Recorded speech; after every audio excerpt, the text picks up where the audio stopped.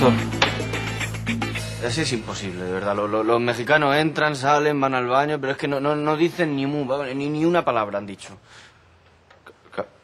Igual, igual son sicarios sordomudos. No, no, en se- serio, que di- eh, dicen que son los más eficientes, que nunca se van de la lengua, ni escuchan lo, lo que no... Joder. Montoya.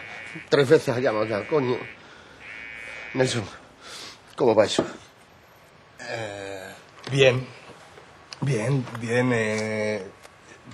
Aquí es con los palitos. Las salidas, palito. Entran, palito. Y cuando palito, tacho. Eh, el azul es, es el primero. Luego el rojo es el segundo. El...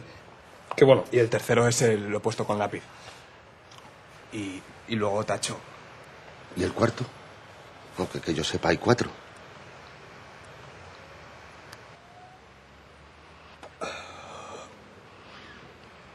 Puedo ponerle asteriscos.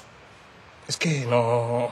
No me quedan colores, inspector. Mira, me cago en todo lo que se menea y en los pantones de colores. ¿Me quieres decir de una puñetera vez cuántos hay ahí dentro? Uno. El de los asteriscos.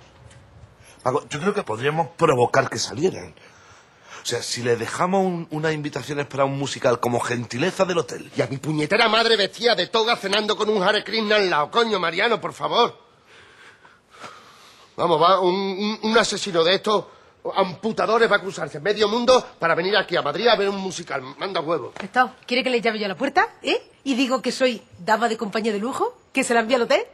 Y me lo llevo para abajo para y lo entretengo explicándole cosas de Murcia y de Mazarrón y de Morata. Rita, Rita, Rita, por favor. ¿Y lo- lo- lo- luego qué? ¿Eh? ¿Que, que, que se, te, se te refroten? ¿Que ¿El plan? o qué?